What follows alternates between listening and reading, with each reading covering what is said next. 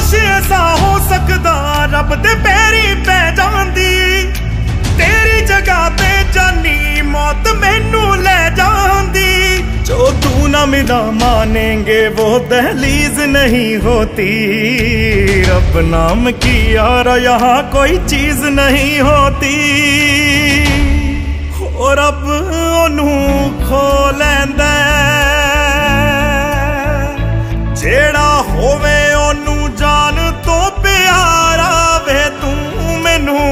ਛੱਡ ਜਾਣਾ। ਗੱਲਾਂ ਤੇਰੀਆਂ ਤੋਂ ਲੱਗਦਾ ਏ ਯਾਰਾ।